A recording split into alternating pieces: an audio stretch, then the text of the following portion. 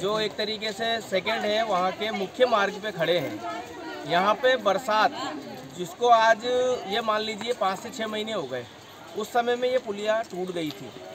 उस पुलिया को आप देख लीजिए कि अभी तक जोड़ा नहीं गया, जबकि ये एक मुख्य मार्ग है। यहाँ पे जितने भी स्कूल के छोटे छोटे बच्चे हैं, जितने भी यहाँ पे लोग निवास करते हैं, उनका मेन आवागमन का साधन यही रास्ता है।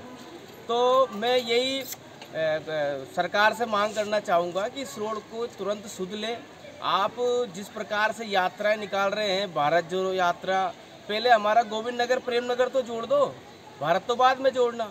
तो हमारी यही मांग है कि पहले आप जो ये प्रेम नगर सेकेंड का जो मुख्य रास्ता है, जो कि गोविंद नगर और भी कई प्रेम नगर फ़र्स्ट सेकेंड जो कि ये आपस में जुड़ते हैं, उनको